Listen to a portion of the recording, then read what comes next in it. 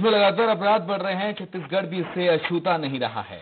राजधानी रायपुर में लगातार रेप, हत्या, शकुबाजी के मामले सामने आ रहे हैं। आबकारी मंत्री कवासी लखमा से पूछा गया कि इन अपराधों के क्या कारण हैं तो उन्होंने कहा कि अपराध बढ़ने का कारण बेरोजगारी है, जो प्रधानमंत्री और गृह मंत्री की देन है। आज आवश्यकताएँ बढ़ गई हैं, महँगी गाड़ी, घड़ी, कपड़ा सबको चाहिए। इसके लिए पैसों की ज़रूरत होती है, लेकिन लोगों के पास रोज़गार नहीं है तो लोग अपराध कर रहे हैं।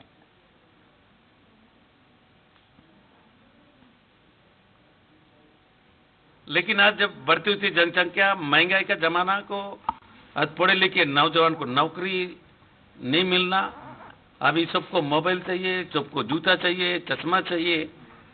तो इसलिए मैं समझता हूँ, जो भारत सरकार में, जो माननीय नरेंद्र मोदी साहब आया, यहाँ पूरा रोज़गार बंद हुआ, या नोट बंद हुआ, पेट का मतलब जेब काली है, ये ज़्यादा वजह मानता हूँ।